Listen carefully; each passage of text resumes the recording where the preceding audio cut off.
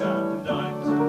We quite disposed to keep it quiet, provided that they make it right. But if they do not seem to see forgive to us their